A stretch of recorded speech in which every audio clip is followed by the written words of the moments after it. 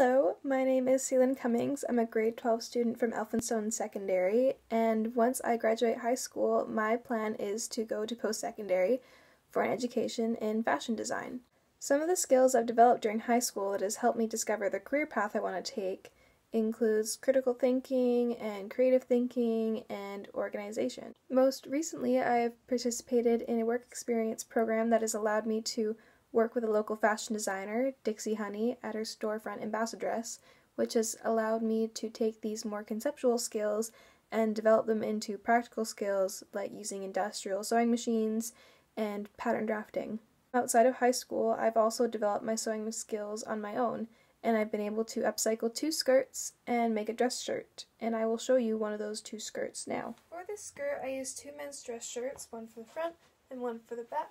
The sleeves are used as a ties, and I use what would have been the collar as my waistband.